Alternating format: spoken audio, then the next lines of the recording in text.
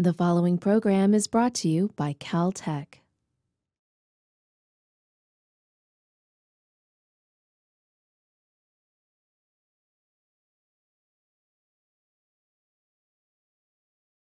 Welcome back. Last time, we finished the VC analysis, and that took us three full lectures. And the end result was the definition of the VC dimension of a hypothesis set. It was defined as the, the most points that the hypothesis set can shatter. And we used the VC dimension in establishing that learning is feasible on one hand, and then in estimating the example resources that are needed in order to learn. So one of the important aspects of the VC analysis is the scope the VC inequality and the generalization bound that corresponds to it describe the generalization ability of the hypothesis, the final hypothesis you are going to pick. And it describes that in terms of the VC dimension of the hypothesis set and makes a statement that is true for all but delta of the data sets that you might get. So this is where it applies. And the most important part of the application are the disappearing blocks because it gives the generality that the VC inequality has. So the, the VC bound is valid for any learning algorithm, for any input distribution that may take place, and also for any target function that you may be able to learn. So this is the most theoretical part, and then we went into a little bit of a practical part where we are asking about the utility of the VC dimension in practice. You have a learning problem, you have, you know, someone comes with a problem, and you would like to know how many examples, how, what is the size of the data set you need in order to be able to achieve a certain level of performance. And the way we did this analysis is by plotting the core aspect of the delta, the probability of error in the VC bound. And we found that it's behaving regularly we focused on a certain aspect of these curves which correspond to different VC dimensions. And the main aspect is below this line. This line designates the probability one. So we want the probability of the bad event to be small. So we are working in this region. And the x-axis here is the number of examples, number, the size of your data set. And we don't particularly care about the shape of these guys. They could be you know, a little bit nonlinear, et cetera. But we, the, the quantity we are looking for is if we cut through this way, okay, what is the behavior of the x-axis, the number of examples, in terms of the VC dimension, which is the label for the colored curves. And we realized that given this analysis, it is very much proportional. And we were able to say that theoretically the bound will give us the number of examples needed will be proportional to the VC dimension, more or less. And although the constant of proportionality, if you go for the bound, will be horrifically pessimistic, you will end up requiring tens of thousands of examples for something for which you really need only maybe 50 examples. The good news is that the actual quantity behaves in the same way as the bound. So the number of examples needed is in practice, as a practical observation, indeed proportional to the VC dimension. And furthermore, as a rule of thumb, in order to get to the interesting part, interesting delta and epsilon, you need the number of examples to be 10 times the VC dimension. You know, more will be better, less might work, but the ballpark of it is that you have a factor of 10 in order to start getting uh, interesting generalization properties. We ended with summarizing the entire theoretical analysis into a very simple bound, which we are referring to as the generalization bound, that tells us a bound on the out-of-sample performance given the in-sample performance.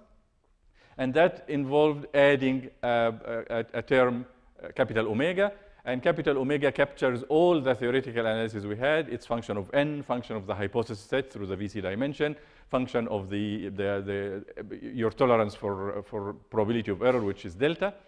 And although this is a bound, we keep saying that in reality, E out will be equal to E in plus something that behaves like omega, and we will take advantage of that when we get a technique like regularization. So that's the end of the VC analysis, which is the biggest part of the theory here. And we are going to switch today to another approach, which is the bias variance trade-off. It's a standalone theory. It gives us a different angle on generalization, and I'm going to cover it beginning to end during this lecture. Okay, so this is the plan. And the outline is very simple. We are going to talk about the bias and variance, define them, see the trade-off, take a very detailed example, example, one particular example in order to demonstrate what the bias and variance are. And then we are going to uh, introduce a very interesting tool for illustrating learning, which are called learning curves. And we are going to contrast the bias variance analysis versus the VC analysis on these learning curves, and then apply them to the linear regression case that we are familiar with. So this is the plan. So the first part is the bias and variance. And in the big picture, we have been trying to characterize a trade-off. And roughly speaking, the trade-off between is between approximation and generalization. So let me discuss this for a moment before we put bias and variance into the picture. We would like to get small e out. That's the purpose of learning. Okay, if e out is small, then you have learned, you have a hypothesis that approximates the target function well. There are two components to this, and we are very familiar with them now. So we are looking for good approximation of f, that's the approximation part, but we would like that approximation to hold out of sample. We are not going to be happy if we approximate f well in sample and we you know, uh, behave badly out of sample. So these are the two components. And in the case of a more complex hypothesis set, you are going to have a better chance of approximating f, obviously, okay? I have more hypotheses to run around. I'll be able to find one of them that is closer to the target function I want. The problem is that if you have the bigger hypothesis set, you are going to have a problem identifying the good hypothesis. That is, if you have fewer hypotheses, you have a better chance of generalization. And one way to look at it is that, okay, I'm trying to approximate the target function. You give me a hypothesis set, okay? Now, if I tell you, I have good news for you. The target function is actually in the hypothesis set. You have the perfect approximation under your control. Well, it's under your hand, but not necessarily under your control because you still have to navigate through the hypothesis set in order to find a good candidate. And the way you navigate is through the data set. That is your only resource for finding one hypothesis versus the other. So the target function could be sitting there calling for you to, please, I am the target function, come, but you can't see it. You are just navigating with the training set. You have very limited resources, and you end up with something that is really bad. So the approximation is the ability to, to, to, to, you know, having f in the hypothesis set is great for approximation, but having a big hypothesis set that is big enough to include that may be bad news because you will not be able to get it. Okay. Now, if you think about it, what is the ideal hypothesis set for learning? Or if I only had a hypothesis set that has a singleton hypothesis, which happens to be the target function, then I have the best of both worlds. The perfect approximation, I will zoom in directly because it is only one, okay? Well, you might as well go and buy a lottery ticket. That's the equivalent, okay? We don't know the target function, so we will have to make the hypothesis big enough to stand a chance. And once we do that, then the question of generalization kicks in. This is the big picture. So let's try to fit the VC analysis in it, and then fit the bias variance analysis in it before even we know what the bias variance analysis is in order to see where we are going with this. Okay. So we're quantifying this trade-off and the quantification in the case of the VC analysis was what? Was the generalization bound, okay? E in is approximation because I am actually trying to fit the target function. I'm just fitting them on the sample. That's the restriction here. So if I get this well, then I'm approximating F well at least on some points. This guy is purely generalization. The question is how do you generalize from in sample to out of sample? So this is a way of quantifying it. Now the bias variance analysis has another approach. It also decomposes E out, as you did in the, in the, the generalization bound, but it does decompose them into two different entities. The first one is an approximation entity. How well H can approximate F? Well, what is the difference then? The difference is that the bias variance asks the question, how can H approximate F overall? Not on your sample, in reality. as if you had access to the target function and you are stuck with this hypothesis set and you are eagerly looking for which hypothesis best describes the target function. And then you quantify how well that best hypothesis performed, and that is your measure of the approximation ability. Okay? Then what is the other component? The other component is exactly what I alluded to. Can you zoom in on it? Okay? So this is the best hypothesis, and it has a certain approximation ability. Okay? Now I need to pick it.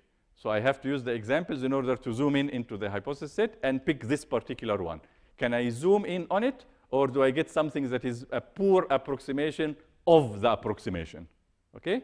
And that decomposition will give us the bias variance, and we'll be able to put them at the end of the lecture side by side in order to compare here is what the VC analysis does, and here is what bias variance does. Okay. The analysis from a mathematical point of view applies to real value targets. And that's good news because remember in the VC analysis, we were confined to binary functions in the particular analysis that I did. You can extend it, but it's very technical. So it's a good idea to see the same trade-off and the same generalization questions apply to real valued functions. So now we have regression, and we are able to make a statement about generalization of regression, which we will apply very specifically to linear regression, the model that we already studied that has real valued uh, uh, uh, outputs. And we are going to confine the analysis here to squared error. The reason we are doing this is that for the math to go through, in such a way that these two guys decompose cleanly. There are no cross terms. We will need the squared error. Okay? So this is a restriction of the analysis. There are ways to extend it. They are not as clean. So this is the simplest form that we are going to use. Okay, let's start. Okay, our starting point is E out. So let me put it, okay? Don't worry about the gap. The gap here will be filled, okay? So what do we have? We have E out. E out depends on the hypothesis you pick. E out is E out of your final hypothesis. How does it perform on the overall space? And in order to do that, we, since we are talking about square error, you are going to take the value of your hypothesis and compare it to the value of the target function and take that square, and that will be your error. Okay? So this is the building block for getting the out-of-sample performance. Now, the gap here comes from the fact that if you look at the final hypothesis, the final hypothesis depends on a number of things, okay? Among other things, it does depend on the data set that I'm going to give you, right? Because if I give you a different data set, you will find a different final hypothesis. Now, that dependency is quite important in the bias variance analysis. Therefore, I'm going to make it explicit in the notation. It has always been there, but I didn't need to carry ugly notation throughout when I'm not using it. Here I'm using it. So we'll have to live with it. So now I'll make that dependency explicit. So I'm having now a superscript which tells me that this G comes from that particular data set. If you give me another data set, this will be a different G. Okay? And you take the same G, apply it to X, compare it to F, and this is your error. Okay? And finally, in order for it to be genuinely out of sample error, you need to get the expected value of that error over the entire space. Okay? So this is what we have. Okay? Now, what we would like to do, we would like to see a decomposition of this quantity into the two conceptual components, approximation and generalization that we saw. So here's what we are going to do. We are going to take this quantity, which equals to this quantity as I mentioned here, and then realize that this depends on the particular data set. Now, I would like to rid this from the dependency on the specific data set that I give you. So I'm going to play the following game. I'm going to give you a budget of capital N examples, training examples to learn from. Now, if I give you that budget N, I could generate one D and another D and another D, each of them with N examples, and each of them will result in a different hypothesis G, and each of them will result in a different out-of-sample error. Correct? So if I want to get rid of the dependency on the particular sample that I give you, and just know the behavior, if I give you n data points, what happens, then I would like to integrate d out. So I'm going to get the expected value of that error with respect to d. This is not a quantity that you are going to encounter in any given situation. In any given situation, you have a specific data set to work with, okay? However, if I want to analyze the general behavior, I tell you, I, you know, someone comes on my door, how many examples do you have? And they tell me 100. I haven't seen the examples yet. So it stands to logic that I say, okay, for 100 examples, the following behavior follows. So I must be taking an expected value with respect to all possible realizations of 100 examples. And that is indeed what I'm going to do. I'm going to get the expected value of that, and this is the quantity that I'm going to decompose. And this obviously happens to be the expected value of the other guy, and we have that. Okay? So now I'm going to take this quantity, the, the expression for the quantity that I'm interested in, and keep derive, deriving stuff until I get to the decomposition I want. So the first order of business, I have two expectations. So the first thing I'm going to do, I'm going to reverse the order of the expectations. Okay? So why I can do that? I'm integrating. Okay, so now I change the order of integration. I'm allowed to do that because the integrand is strictly non-negative. Okay? So I get this, and the reason for that is that because I am really interested in the expectation with respect to d, and I'd rather not carry the expectation with respect to x throughout. So I am going to get rid of that expectation for a while until I get a clean decomposition. And when I get the, de clean decomposition, I'll go back and get the expectation, just to keep the, the, the, the, focus clear. OK. So you focus on the inside quantity. Okay? If I give you the expression for the inside quantity for any x, then all you need to do in order to get the quantity that you need is get the expected value of what I said with respect to x. Okay? So this is the quantity that we are going to carry to the next slide. Okay, let's do that. And the main notion in order to evaluate this quantity is the notion of an average hypothesis. It's a pretty interesting idea. Okay, so here is the idea. You have a hypothesis set, and you are learning uh, from a particular data set, and I am going to define a particular hypothesis. I'm going to call it the average hypothesis, and because it's average, I'm going to give it a bar notation, okay? So what is this fellow? Well, this fellow is defined as follows. You learn from a data set, you get a hypothesis. Someone else learns from another data set, you get another hypothesis, etc. So how about getting the expected value of these hypotheses? So what does that formally mean? Okay, we have x fixed. So we actually are in a good position because g of x is really just a random variable at this point. It's a random variable determined by the choice of your data. The data is the randomization source. X is fixed. So you think I have one test point in the space that I'm interested in, okay?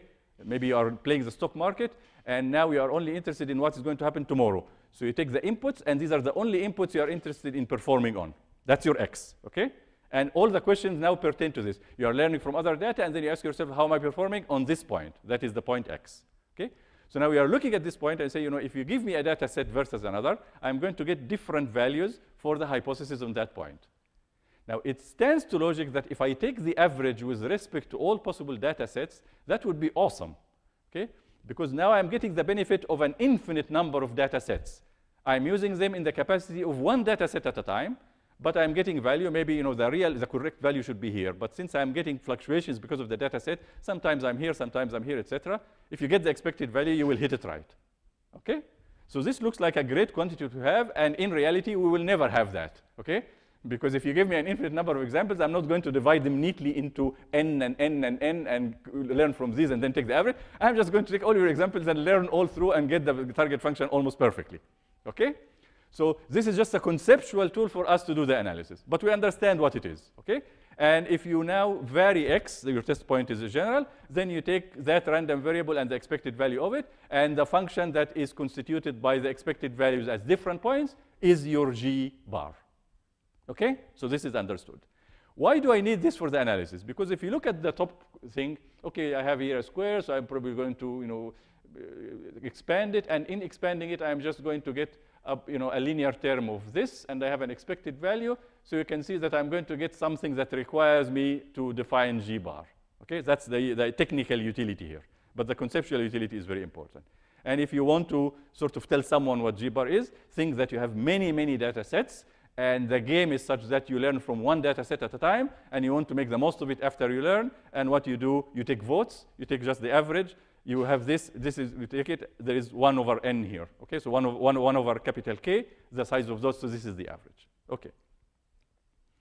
Okay, so now let's see how we can use G bar in order to get the decomposition we want. Okay. Okay, so here, this is again the quantity I'm keeping, you know, passing from one slide to another in order not to forget. Okay, this is the quantity that I to decompose.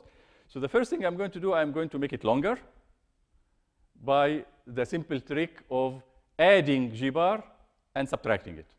I'm allowed to do that, right? Okay? Now, doing that, I'm going to consolidate these two terms, and I'm going to consolidate these two terms. Okay? And then expand with the square. So let's do that. Okay, so you get this. Okay, so this is the first consolidated guy with the squared. This is the second consolidated guy with the squared. Am I missing something? Yes, I'm missing the cross terms. So let's add the cross terms. And I get twice the product. Okay? So this is equal, to equal this equals that. Okay. Now I would like to get, so the expected value here applies to the whole thing, okay? Now the first order of business is to look at the cross terms because they are annoying, okay? And see if I can get rid of them, okay? That's where the benefit of the squared uh, error comes in. Okay. Now I am getting the expected value with respect to D, right? So this fellow is a constant. Therefore, when I get the expected value of this whole thing, all I need to do is get the expected value of this part, because this one will factor out, right? Now, if I get the expected value of this, the expected value of the sum is the sum of the expected values. One of the, one of the few universal rules that you can apply without asking any other questions, okay? So I get the expected value of this. What is the expected value of GD? Mm. Well, wait a minute. That was G bar by definition. That's how we defined it, right? So I get G bar minus the expected value of a constant, which happens to be G bar. So this goes to zero, and happily, this guy goes away. Okay? So now I have only these two guys, so let's write them. I have the expected value of this whole thing, which again is the sum of the expected values. So the first guy is a genuine expected value of these guys. When I apply E expected value to this guy, again, this is just a constant, so the expected value of it is itself, okay? So the second guy I add without bothering with the expected value because it's just a constant, okay? So this is what I have as the expression for the quantities that I want. Okay, so now let's take this and look at it closely because this will be the bias and variance. Okay. This is the quantity again, and it equals this fellow, so now let's look beyond the math and understand what is going on. This measure, this quantity tells you how far your hypothesis that you got from learning on a particular data set differs from the ultimate thing, the target. And we are decomposing this into two steps. The first step is to ask you how far is your hypothesis that you got from that particular data set from the best possible you can get using your hypothesis set. Okay? Now, there is a sort of a leap here because I don't know whether this is the best in the hypothesis set. I got it by the averaging, but it looks like, you know, since I'm averaging from several data sets, it looks like a pretty good hypothesis. I'm not even sure that it's actually in the hypothesis set. It's the average of guys that came from the hypothesis set. But I can definitely construct hypothesis set where the average of hypotheses not necessarily belongs there. So there are some, some funny stuff. But just think of it that this is an intermediate step. Instead of going all the way to the target function, here is your hypothesis set. It restricts your resources. Now I'm getting the best possible out of it using some formula. I'm getting like learning from infinite number of data sets. Uh, this is a pretty good hypothesis. So how far are you from that hypothesis? That's the first step. The second step is how far that hypothesis, that great hypothesis is from the ultimate target function. Okay? So hopping from your guy to the target goes into a small hop from your guy to the best hypothesis, and another hop from the best hypothesis to the target function. And the neat thing is that they decompose cleanly, and we found that they decompose cleanly because the cross term disappeared, and that's the advantage of the particular measure that we had. Okay? Now we need to give names to these guys, okay? So they will be the bias and variance. I'd like you to think for five seconds, and you know, you don't have to even answer the question. Which will be the bias and which would be the variance? Just look at which would be a better description to them, okay?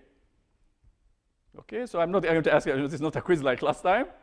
This is, this is the bias. Why is it the bias? Because what I'm saying is that, okay, learning or no learning, your hypothesis set is biased away from the target function. Because this is the best I could do under fictitious scenario. You have infinite data sets and you are doing all of this and you're taking the average and that's the best you could come up with.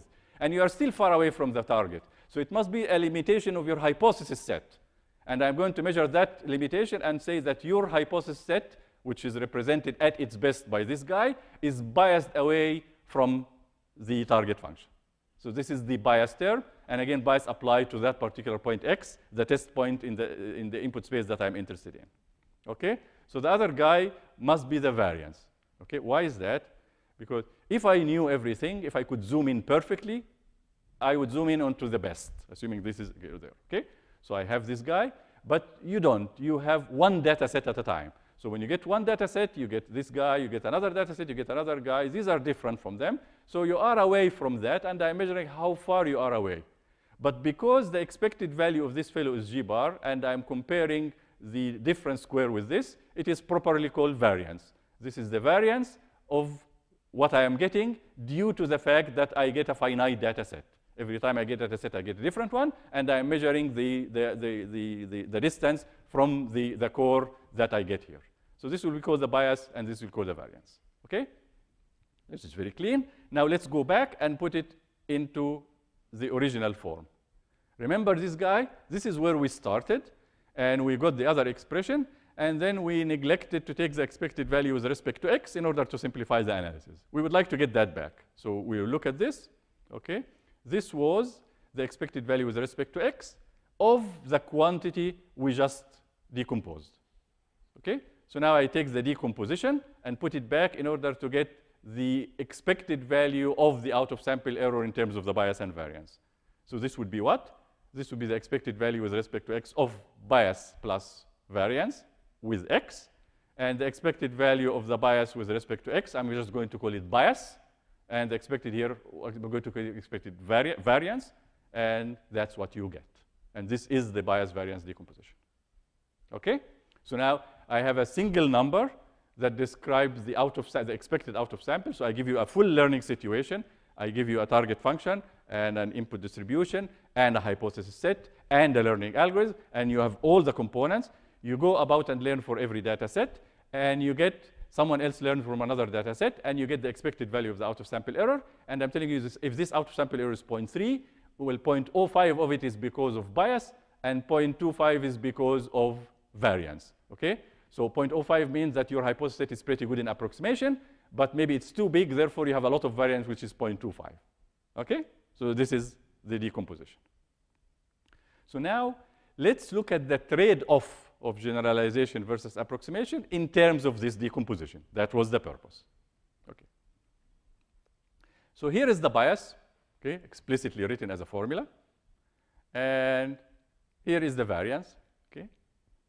Now, we would like to argue that there is a trade-off, that when you change your hypothesis set, you make it bigger, more complex, or smaller, one of these guys goes up and one of these guys go, goes down, okay? So I'm going to argue about it informally, and then we'll take a, a, a, specific example where we are going to get exact numbers, okay? But this is just to realize really that this decomposition actually captures the trade-off of approximation versus generalization.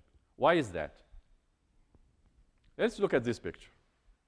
Here, I have a small hypothesis set. One function if you want, but in general, let's call it small. This one, I have a huge hypothesis set. Okay? So I have here the black points are hypotheses that are candidates. Someone gives me a data set, and I learn and choose something. Now, the target function is sitting here. If I use this guy, obviously, I am far away from the target function, and therefore, the bias is big. If I have a big hypothesis set, this is big enough that it actually includes the F, okay? Then when I learn, on average, I will be very close to F. Maybe I won't hit f exactly because of the nonlinearity of the regime. The regime I get n examples, learn, and keep it. Another n example, learn and keep it, and then take the average. I might have lost some because of the nonlinearity. I might not get f, but I'll get pretty close. So the bias here is very, very small, close to zero. In terms of the variance here, there is no variance. If I have one target function, I don't care what data set you give me. I will always give you that function, okay? So there is nothing to lose here in terms of variance. Here, well, depending, I mean, I have so many varieties that depending on the examples you give me, I may pick this and another example because I'm fitting your, your data, etc. So I get a cloud, a red cloud around this, and their centroid will be G bar, the one that is, you know, good, but I may get one or the other, and the size of this guy measures the variance. This is the price I pay. So now you can see that if I go from a small hypothesis to a bigger hypothesis, the bias goes down and the variance goes up, okay? So the idea here, if I make the hypothesis set bigger, I am making the bias smaller because I'm making this bigger, getting it closer to F and being able to approximate it better, so the bias is diminishing. But I am making this, so the bias goes down, and here the variance goes up. Why is the variance goes up? Because the red cloud becomes bigger and bigger. If I have this thing, then I have more variety to choose from, and I'm getting bigger variance to work with. Okay? So this is the nature of the trade-off. Now, you may not believe this because I just drew a picture and just sort of argued very informally. So now let's take a very concrete example, and we will solve it beginning to end. Okay? And if you understand this example fully, you will have understood bias and variance perfectly. So let's see. I took the simplest possible example that I can get a solution of fully. So my target is a sinusoid, okay? That's an easy function, and I'm just going, wanted to, to, restrict myself to minus 1 plus 1, so I'm going to get sine pi x, okay? Just to scale it so that it's from minus 1 to plus 1, gets me the whole action. And therefore, the function formally defined, the target function, is from minus 1 plus 1 to the real numbers. Okay, the codomain is the real numbers, but obviously the function will be restricted from minus 1 to plus 1 as a range. Okay? Now, the target function is unknown. That's what we have been preaching for several lectures now. And now I am just giving you the target function. Okay? Again, this is an illustration. When we come to learning, we will try to blank it out so that it becomes unknown in our mind. Okay? But in order to understand the analysis of the bias variance, we would like to know what target function we're working with. We are going to get things in terms of it, and then you will understand why the, the, the trade-off exists. Okay, so the function looks like this. Okay, surprise, it's like a sinusoid, fine. Now the catch is the following. You're going to learn this function. I'm going to give you a data set. How big is the data set? I am not in a generous mood today, okay? So I'm just going to give you two examples. And from the two examples, you need to learn the whole target function. Okay, I'll try. Okay, n equals 2. So the next item is to give you the hypothesis set. So I'm going to give you two hypothesis sets to play with. Okay, so two, you know, one of you gets one and the other gets other, and you try to learn and then compare the results. Okay? Well, I have two examples, so I cannot give you a you know, 17th order polynomial, right? Okay, so I'm just going to give you the following. The two models are H0 and H1. H0 happens to be the constant model. Just give me a constant. I'm going to approximate the sine function with a constant. Okay, this doesn't look good. Okay, that's what we are working with. And the other one is far more sophisticated. It's so elaborate, you will love it. It's linear. Okay, looks good now having seen the constant already, right? Okay, these are your two hypotheses, and we would like to see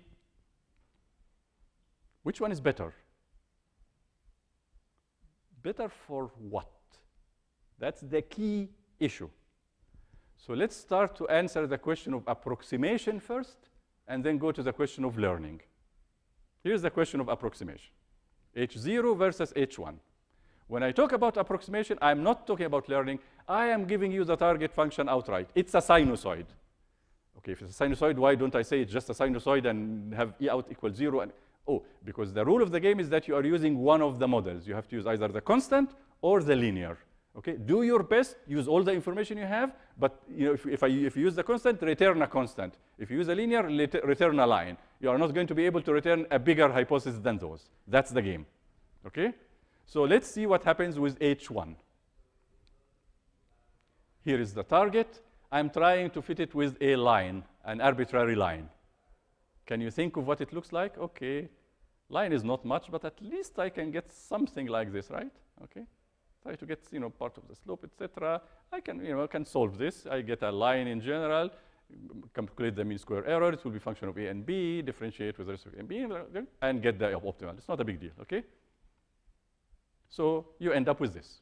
That's your best approximation. This is not a learning situation, but this is the best you can do using the linear model. Okay. Under those conditions, you made errors, right? Because that's your, uh, and these are your errors. Okay, you didn't get it right, and these regions tell you how far you are from the target. Okay, let's do it with the other guy. Okay, now I have a constant. I want to approximate this guy with a constant. What is the constant? Mm, I guess I have to work with zero. That's the best I have. Remember, it's mean square error, okay? So, uh, you know, if I move the zero, the big error will contribute a lot because it's squared. So I just you know, put it in the middle, and this is your hypothesis. And how much is your error? Big. The whole thing is your error, okay? So let's quantify it. If you get the expected value of the mean square error, you get a number, which here will be 0.5, and here will be approximately 0.2, okay? So the linear model wins. Okay, yeah, I'm approximating, I have more, sure. Okay, if, if, you give me third order, I will be even. If you give me 17th order, I'll be able to do better, okay? But okay, that's the game. In, in terms of approximation, the more the merrier, because you have all the information, there is no question of zooming in. Okay. Now let's go for learning. This course is about machine learning, right? Not about approximation. So this is the important part for us. Okay.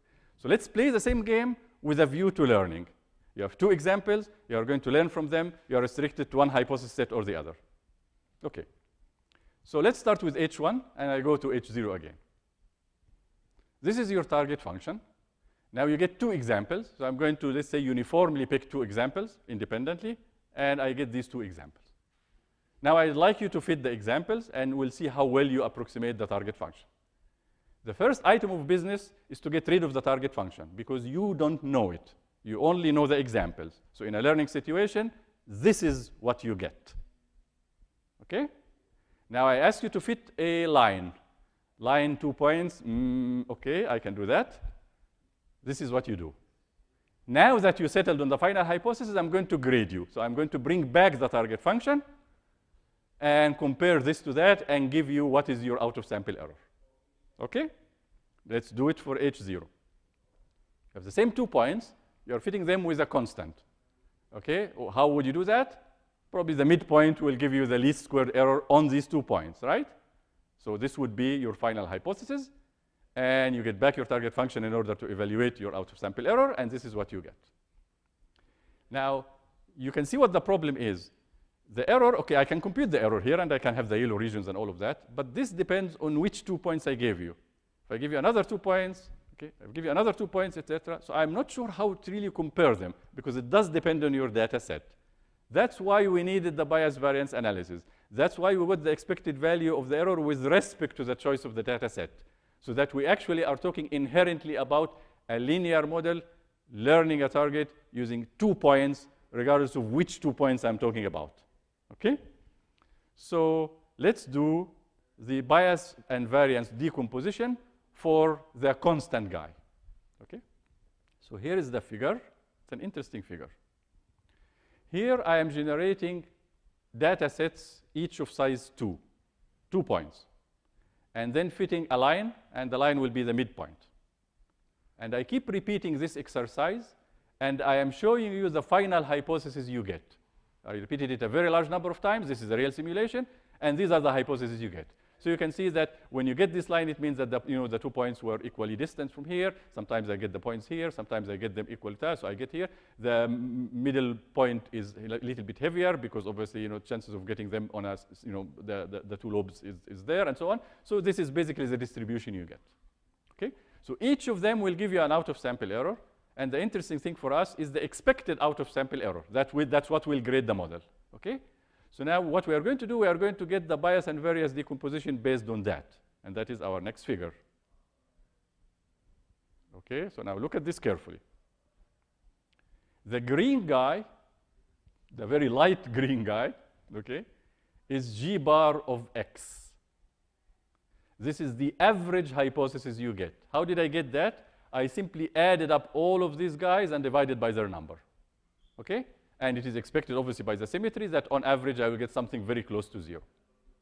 So the interesting is that you can see now that the G bar here happens to be also the best approximation. If I keep repeating this, I will actually get the zero guy, which I was able to get when I had the full target function I was approximating. Here I don't have the full target function. I have one hypothesis at a time, I'm getting the average, but I am getting this. So there is a justification for saying that G bar will be the best hypothesis, because this game of getting one at a time and then getting the average does get me somewhere.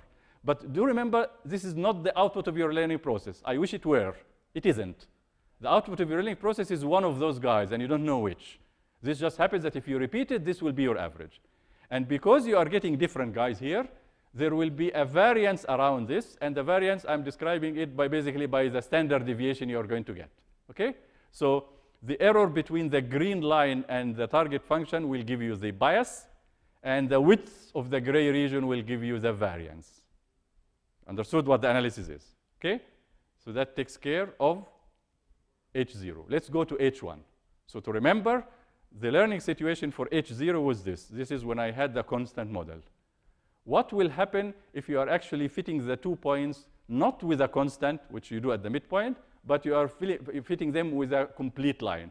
What will it look like? It will look like this. Wow, you can see where the problem is. Talk about variance. Take two points, you connect them, wherever the two points, you get this jungle of lines. This is for exactly the same data set that gave me the horizontal lines in the previous slide. So this is what I get. So now I ask myself, what on average will I get? You can immediately, on average, you'd better get a positive slope because, you know, there is a tendency to get a positive slope because when you get the point slip, you will get this, okay? Sometimes you get a negative slope here, here, but that is bounded, you know, balanced by getting a positive slope here. You can argue this, but you can do the math, okay? And then you get the bias variance decomposition, okay? So this will be your average. This is G bar.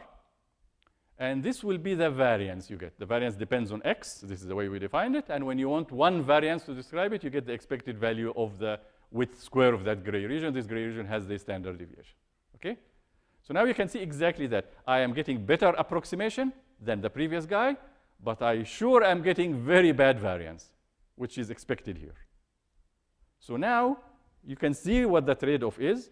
And the question is, given these two models, which one wins? From a learning scenario. Okay? You need to ask the question to remember what it is. I am trying to approximate a sinusoid. Is it better to do it with a constant or a general line? Okay? The answer to that question is obvious, but that is not the question I am asking in learning. The question I'm asking in learning, you have two points coming from something I don't know. Is it better to use a constant or a line? You notice the difference. Okay. So I'm going to put them side by side. Okay. And then see which is the winner. Okay. So this guy has a big bias and a small variance. This guy has a small bias and a big variance. And let's get quantitative. What is the bias here?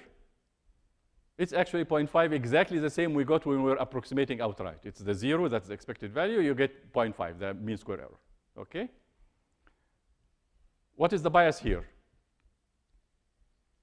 It's 0.21. Interestingly enough, when we did the approximation, it was about 0.2. And indeed, this is not exactly the best fit.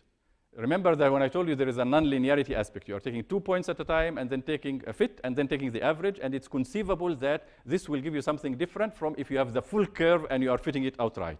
The difference is usually very small, and it is. But here you get something which is not exactly perfect, but very close to perfect. Okay? So obviously, here the bias is much smaller. Let's look at the variance. What is the variance here? The variance here is 0.25. Okay, it's not too bad. Okay, the variance here we expect it to be bigger, but is it big enough to kill us?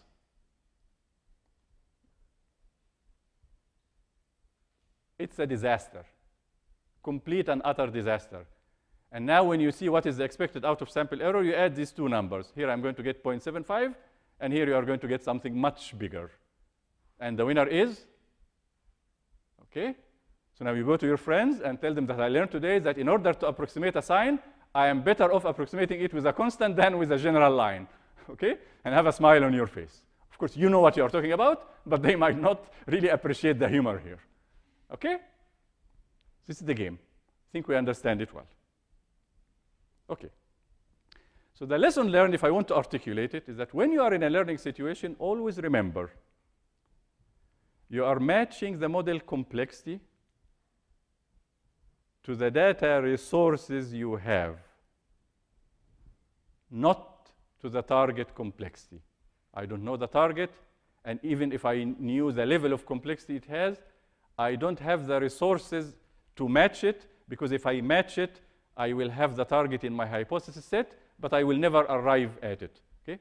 Pretty much like I'm sitting in my office and I want a document of some kind, you know, an old letter of someone is asking me for a letter of recommendation and I don't want to rewrite it from you. So I want to take the old guy and just see what I wrote and then add the update to that, okay? So before, you know, the, the, everything was, was archived in the computers, it used to be a piece of paper. So I know that the letter of recommendation is somewhere, okay? Now, I have faced the should I write the letter of recommendation from scratch or should I look for the letter of recommendation, okay? The recommendation is there. It's much easier when I find it. However, finding it is a big deal, okay? So the question is not that the target function is there, the question, can I find it, okay? Therefore, when I give you 100 examples, you choose the hypothesis set to match the 100 examples. If the 100 examples are terribly noisy, that's even worse because their information to guide you is, is worse. So that's what I mean by the, by the data resources you have. The data resources you have is what do you have in order to navigate the hypothesis set? Let's pick a hypothesis set that we can afford to navigate. That is the game in learning. Okay. Done with the bias and variance, now we are going to take just an illustrative tool called the learning curves, and then we are going to put the bias and variance versus the VC analysis on those curves. Okay, so what are the learning curves? They are related to what we think of intuitively as a learning curve, but they are a technical term here. They are basically plotting the expected value of E out and E in. We have done E out already, but here we also plot the expected value of E in as a function of n. So let's go through the details. I give you a data set of size n, okay? We know what the expected value of the out-of-sample error is. We have seen that already in the bias variance decomposition, and this is the quantity.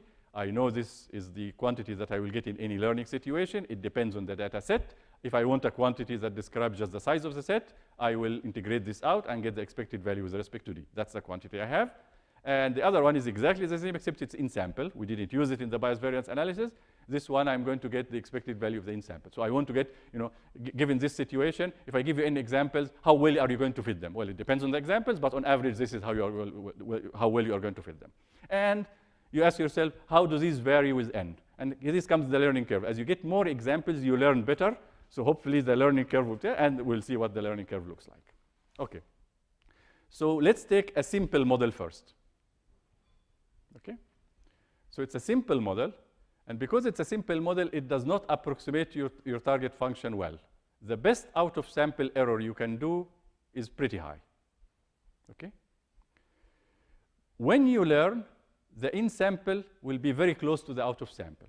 So let's look at first the behavior as you increase n.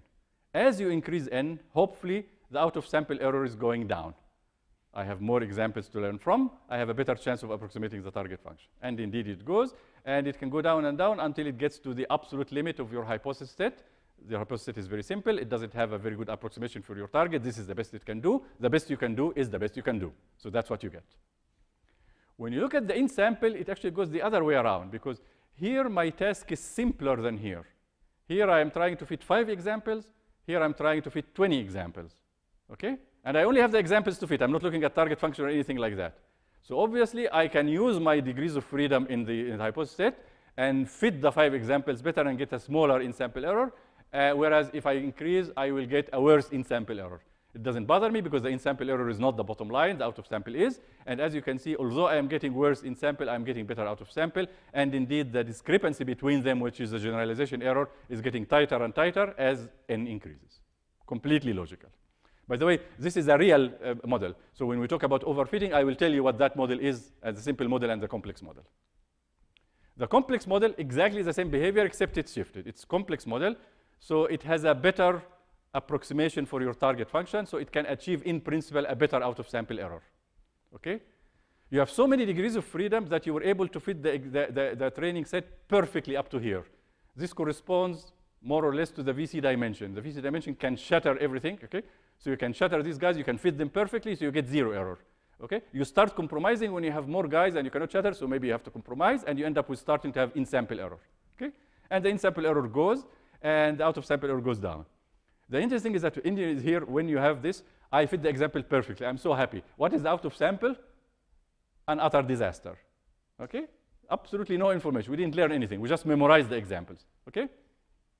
So here again, the E output, the, the out of sample error goes down, the in sample error goes up. Same argument exactly. They get closer together, but obviously the discrepancy between them is bigger because I have a more complex set. Therefore, the generalization error is bigger, the bound on it is bigger in the, in the VC analysis, and the actual value is bigger, and so on. Okay? So this is the, the, the, the analysis. So it's a very simple tool, and the reason I introduced it here is that I want to illustrate the bias and variance analysis versus the VC analysis using the learning curves. It will be very illustrative to understand how the two theories relate to each other. Okay, so let's start with the VC analysis on learning curves. So these are learning curves. The in-sample error goes up as promised. The out-of-sample error goes down. There is a best approximation that corresponds to this level of out-of-sample error if we actually knew the thing. And what did we do in the VC analysis? We had the in-sample error, which is this region, the height of this region. And then we had a bound on the generalization error, which is omega. And we said that the bound behaves the same way as the quantity itself. So the bound actually will not be this thing, will be way bigger, okay? But in proportionality, it's, it, will, it will give us the same proportion, okay? So as you increase n, the generalization error goes down, the bound on it goes down, omega goes down, which we already realized, okay? And obviously, you can take another model, and the model, if, if the model is very, is, very, is very complex, the discrepancy between them becomes bigger, which is, agrees with that. So this is the decomposition of it. Now, I took some liberties in order to be able to do that. The, the VC analysis doesn't have expected values. So I took expected values of everything there is, okay? So there is some liberty taken in order to put it to fit in that diagram, but the principle holds that this is the region, the, the, the, the, the, blue region is the in-sample error, and the red region is basically the omega. That is what happens in the generalization bound. Think for a moment which region will be blue and which region will be red in the bias variance analysis. I'll get exactly the same curves, the same model, okay? So what will it be? Well, it will be this. That's the difference. In the bias variance, I got the bias based on the best approximation. I didn't look at how you perform in sample. I assumed hypothetically that you could look for the best possible approximation, and I charged the bias for that, and this is the bias you have, okay? So this is the best you can do, and this is the error you are making. Again, there is a liberty taken here, because this is the genuinely the best approximation in your hypothesis set. The one I am using for the bias variance analysis is the error on G bar, right? And we said, okay, G bar will be close in error to this guy. It may not even be in the hypothesis set. So there is some liberty, but it's not a huge liberty. This is very much close to what you are getting in the bias variance. And the rest of it is the variance, because you get the bias plus that, and you will get the expected value of the out-of-sample error. Now you can see why they are both talking about the same thing. Both of them are talking about approximation, that's the blue part. Here it's approximation overall, and here it's approximation in sample okay? And both of them take into consideration what happens in terms of generalization. Well, the red region here is, okay, I mean, maybe twice the size, not twice the size in general, it will be twice the size actually in the linear regression example, okay? But basically they have the same behavior, they have just different scale. So they capture the same principle of generalizing or the uncertainty about which hypothesis to pick or how much do I lose from going in sample to out of sample. So they have the same behavior, and the only difference here is that here the bias obviously is constant with respect to n. The bias depends on the hypothesis set, okay? Now, this is also an assumption because it says, okay, I have two examples and take the average, I will get an error. If I have 10 examples and take the average, I'll get an error. Is it the same? Well, in both cases, you effectively used an infinite number of examples because the first one you used, you used two at a time and you repeated it an infinite number of times and you took an average, okay? This, you lose 10 at a time and you took it out. Okay, I, I, grant you maybe the 10 will give you a better situation. But again, it's a, a little bit of a, of, a, of, of a, license in order to be able to uh, attribute the, the bias and variance to this line, which happens to be the best hypothesis proper within your hypothesis set. So this is the contrast between the two theoretical approaches we have covered in this lecture and the previous three lectures. Okay. I'm going to end up with the analysis for the linear regression case. So I'm going to basically go through it fairly quickly, okay? This is a very good exercise to do, okay? And if you read the exercise and you follow the steps, it will give you very good insight into the linear regression. I'll try to explain the highlights of it. So let's start with a reminder, the linear regression. So linear regression, I'm using a target. For the purpose of simplification, I am going to use a noisy target, which is linear plus noise. Okay, so I'm using linear regression to learn something linear plus noise. If it weren't for the noise, I would get it perfectly. It's already linear. But because of the noise, I will be deviating a little bit. Okay, this is just to make the, the, the, the mathematics that, that, that results easier to handle. Okay, now you give in a data set, and the data set is a noisy data set, so each of this is you know picked independently, and this y depends on x, and the only the only unknown here is the, the noise. I mean, so you get this value, they give you the average, and then you add a noise to get the y. Okay. Now, do you remember the linear regression solution? Okay, regardless of what the target function is, you look at the data, and this is what you get for the solution. You take the input data set and the output data set, you do this algebraic combination, and whatever comes out is your output of the linear regression. This is your final hypothesis. Okay, we have done that. And now we are going to think about the notion of the in-sample error, not in-sample error as a summary quantity, but the in-sample error pattern. How much error do I get in the first example? How much error get in the second, third, etc. Okay, just for, for illustration. So what would that be?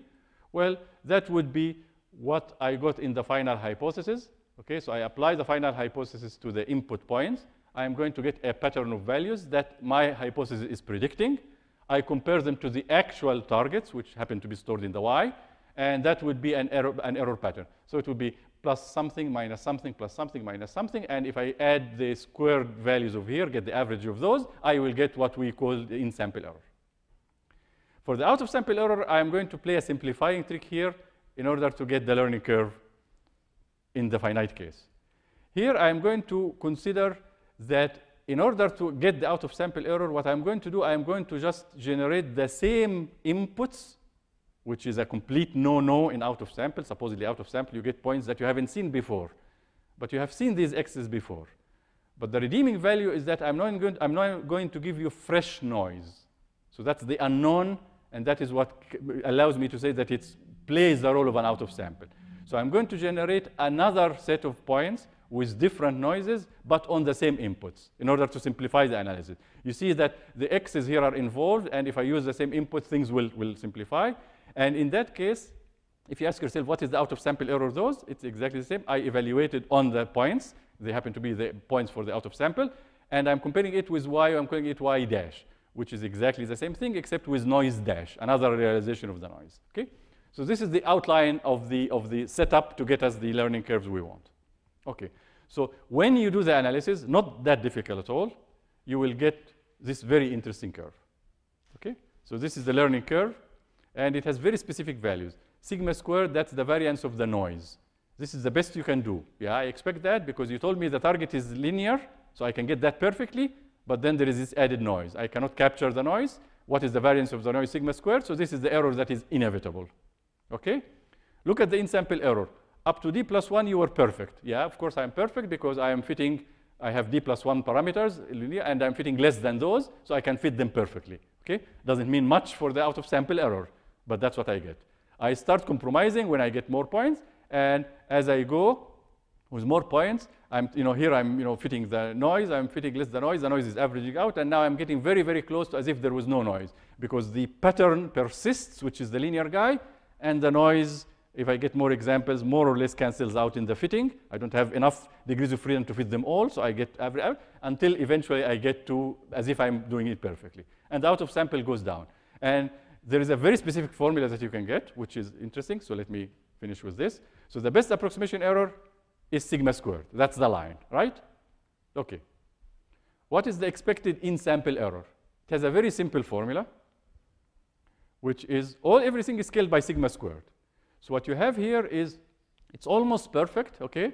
And you are doing better than perfect, by this amount, the ratio of d plus 1. Remember what d plus 1 was? For the perceptron, it was the VC dimension. Here, it's also a VC dimension of sorts, the degrees of freedom that linear regression has. So you divide the degrees of freedom by the number of examples, that is the factor that you get. And you realize here that when I am, you know, this is the best you can do. And here you are doing better than the best. Why is better than the best? Because I'm not trying to fit the whole function. I am only fitting the finite sample. So I'm doing very well, and I'm very happy about it. You know, little that I know that I'm actually harming myself. Because what I'm doing here, I'm fitting the noise, and as a result of that, I'm deviating from the optimal guy, and I'm paying the price in out-of-sample error. Okay? And what is the price I'm paying in out-of-sample error? It is the mirror image. I lose exactly in out-of-sample what I gained in sample. Okay? And the most interesting quantity is the summary quantity. What is the expected generalization error? Well, the generalization error is the difference between this and that. I have the formula for them. So all I need to do is write this. Okay? So let me magnify this. This is the generalization error.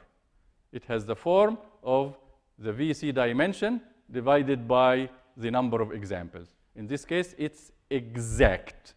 And this is what I promised last time. I told you that this rule of proportionality between a VC dimension and a number of examples persists to the level where sometimes the, you just divide the VC dimension by the number of examples, and that will give you a generalization error. Okay? This is the concrete version of it, in spite of the fact that here, here is not a VC dimension, this is real valued, but it's degrees of freedom, so it plays the role. We could actually solve for it and realize that this is indeed the compromise between the degrees of freedom I have in the case of linear regression and the number of examples I am using. Okay? So we will stop here and we will go into questions and answers after a short break. Okay, so let's go into the questions. Right, so the first question is if you can go back to slide 19. 19. So uh, the question is if you can explain how complex model models are better than simple models. Okay, the, the, the, b- better in, in something. I mean, I think the, the, the key issue in, in, in the theory is there is a trade-off. Nothing is better on, on, on all fronts and nothing is worse on all fronts. So let's compare the simple model and the complex model, okay? In terms of the ability to approximate, okay, whether that ability to approximate is in sample or whether the ability to approximate is absolute. Okay. What is the ability to approximate in the absolute? Okay, here is my hypothesis set and I have a target function. The horizontal line, that height gives you the error of approximation. So if you go from a simple model to a complex model, you will be able to approximate better. That is obvious. And that also is inherited if your approximation is focused only on the training example. In this case, you are comparing not the horizontal lines, but the blue curves. This is the error you make in approximating the, the, the, the sample you, you get. And again, the approximation for the simple model is worse than the approximation for the complex model. Okay? So if your game is approximation, and that's, that's your purpose, then obviously the complex model is better. Well, in this particular case, you can also ask yourself about the generalization ability. The generalization ability will be the discrepancy between either the blue or and red curve, that would be the VC analysis. This would be how much I lose from going from in sample to out of sample. Or how much I lose from a perfect approximation, in the case of the bias variance analysis, to getting E out because my inability to zoom in on the right hypothesis. This would be that area here, okay?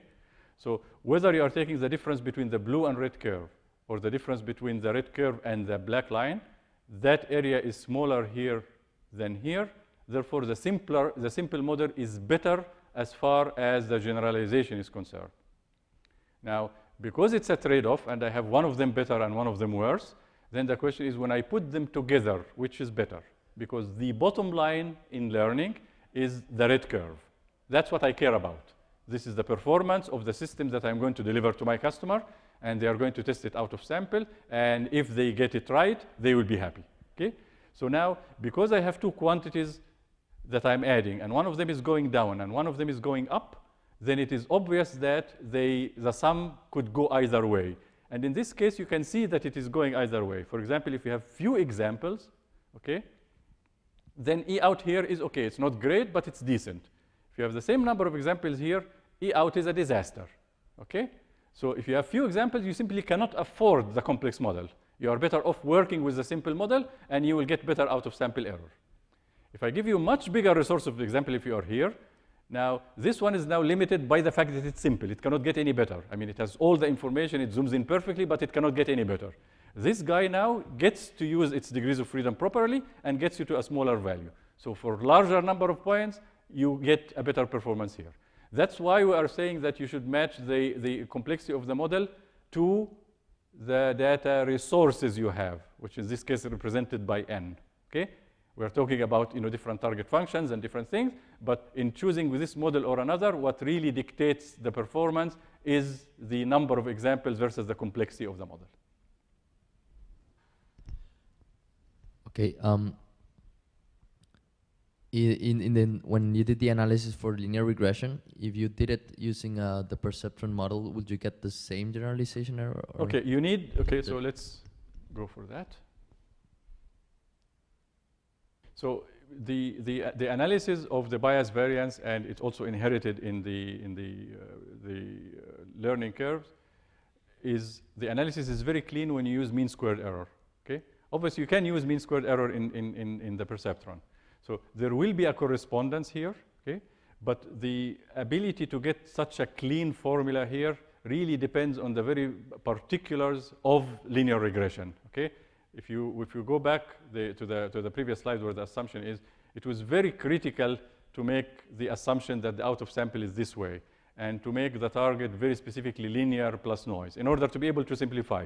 The, the result, by the way, holds in general asymptotically. So if you take genuine out of sample, which means that you pick different points, you will get a different matrix X. So you will get here, you know, the, the, you will apply W that you got from in sample, you'll apply it to X dash in this case, which is it, and the Y dash. And the problem is that when you plug it in here in order to try to get a, a formula for that, the formula will depend on the, uh, how the, the, the X dash relates to the X. When it's the same, they cancel out neatly and you get the formula that I had. But asymptotically, if you take, you know, if you make certain assumptions about how X is generated and you, you, you take the asymptotic result, you will get the same thing. So the short answer is the following. The analysis in the exact form that I gave, which gives me these very neat results, is very specific to linear regression, very specific to the choice of out of sample as I did it if you want to uh, give the answer exactly in a finite case. If you use the perceptron, you will be able to find a parallel, but it may not be as neat. Quick clarification. Sigma squared is the variance of the noise in the. Yeah. Yes. So the, the okay, I, I just re- realized that you know. So I, have been using bias variance, bias variance. The, the lecture is called bias variance, and now we have variance of the noise. Okay. So obviously, I'm so used to these things that I didn't notice. When I uh, say the variance here, this has absolutely nothing to do with the bias variance analysis that I talked about. It's a noise. I am trying to measure the energy of it. So it's a zero mean noise. So the energy of it is uh, the- proportional to, to, to, to the variance. So I should have called it the energy of the noise, is sigma squared, in order not to confuse people, but I hope that I did not confuse too many people.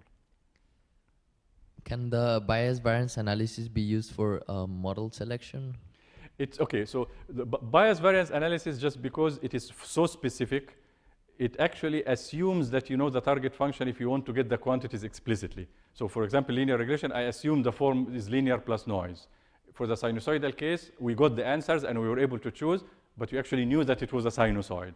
So the bias variance analysis is taken as a guide, okay? But it's a very important guide because I can ask myself, how do I affect, instead of talking, you know, I want to get E out to be down, okay? Now I know that there are two contributing factors, bias and variance. Can I get the variance down without getting the bias up? Okay, that's a bunch of techniques. Regularization will belong to that category. Can I get both of them down? Okay, that will be learning from hints. There will be something that affects both, the, both them, and so on. So you can map different techniques to how they are affecting the bias and variance. Okay, so I would say that in terms of any application to learning situation, it's a guideline rather than something that I'm going to plug in and tell you what the model is. The, the, the, the, the, the answer for the model selection is mostly through validation, which we're going to talk about in a few lectures. Okay, and this is the gold standard for, for, for the choices you make in a learning situation, including cho- choosing the model.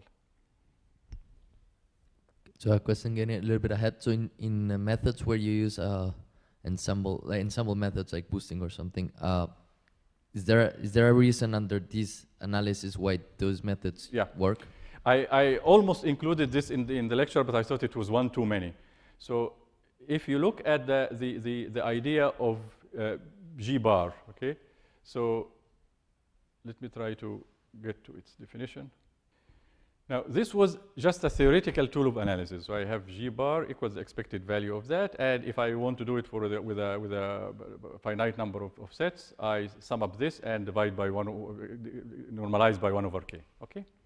Now, although this was just a theoretical way of you know, getting the bias variance decomposition, and this is a conceptual way of understanding what it is, there is an ensemble learning method that builds exactly on this, which is called bagging, bootstrap aggregation.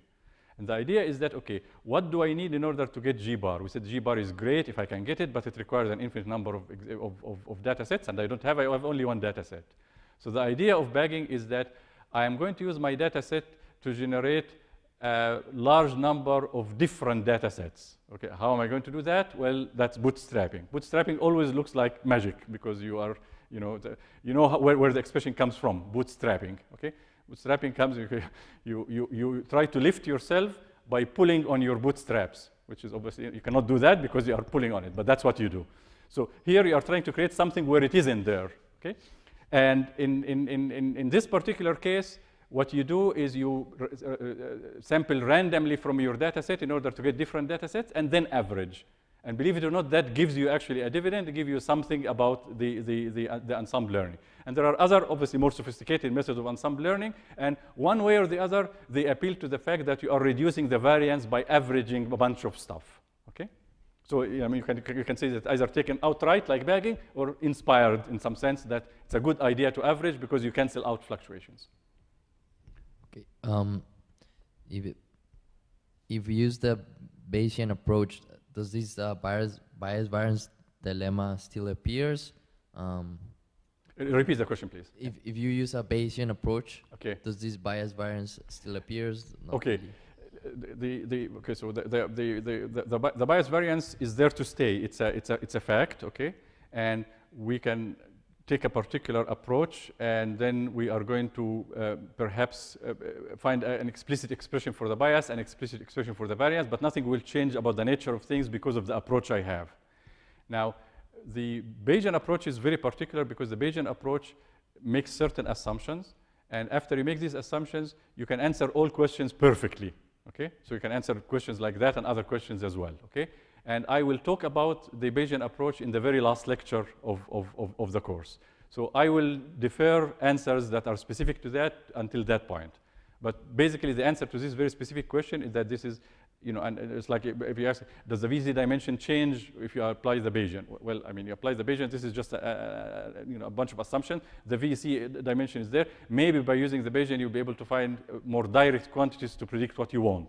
But the VC dimension, you know, is there because it, it's, it's defined in a general setup. Yeah, function. Um, a question about relation with a numerical uh, function approximation. So, in in that field, there's interpolation and extrapolation. When is there extrapolation in machine learning? Yeah, so uh, the- the- functional approximation is one of the fields that is very much related because you are given a finite sample and you're coming from a function and you're trying to approximate it, and, and this is one of the one of the applications. And in general, you know, interpolation is easier than extrapolation because you you, you, you have a handle, and if you want to, to articulate that in terms of the, the, the stuff we have, the variance in interpolation is smaller than the variance in extrapolation in general. Remember the, the, the, the lines in the, in the sinusoid, they're all over the place. Okay, if you take between the two points, so I have the sinusoid and I have the two points. I'm connecting them with a line. Between the two points, I'm very much in, in, in, in good shape because the sine is this way and I am this way. Okay, so it's not that big a deal. Okay, the further out you go, then there is a lot of fluctuation, and that is reflected in, in, in the extrapolation.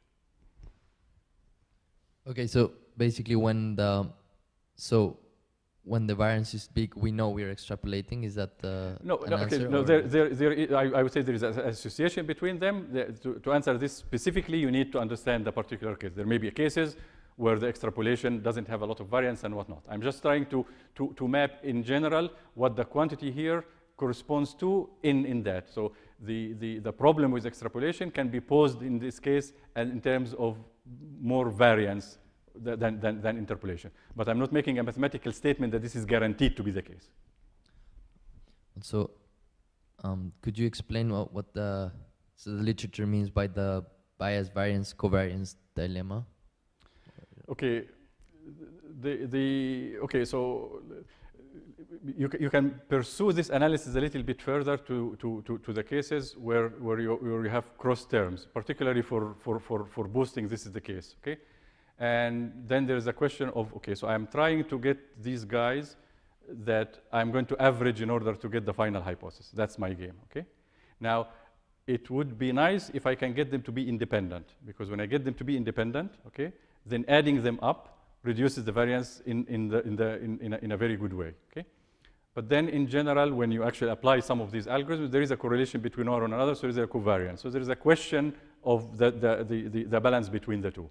But it really is, uh, uh, uh, in, in terms of application, related more to ensemble learning than to just the general bias variance analysis as I did it. Because in the bias variance analysis, I really did it, I had the luxury of, of picking independently generated data sets, generating independent guys, and then averaging them, because it's conceptual aspect, okay?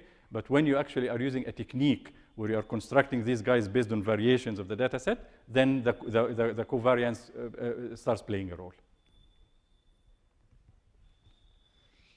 Um, a question about, I guess, naming this uh, thing. So, is linear reg- regression actually learning, or is it just uh, fitting along the lines of, you know, function approximation? Okay, linear regression is a, is a, yeah, is a learning technique, and fitting is the first part of learning, okay? So you, you always fit in order to learn. The only added thing is that you want to make sure that as you fit, you also perform well out of sample. That's what, what the theory was about. So I've been spending four lectures trying to make sure that when you do the intuitive thing, I give you data, you fit them, okay? You could do that without taking a machine learning course. So now I'm telling you that you have to have the checks in place such that when you fit in sample, something good happens in what you care about, which is out of sample. So that's the All right, I think that's it. very good. Okay, so we'll see you next week.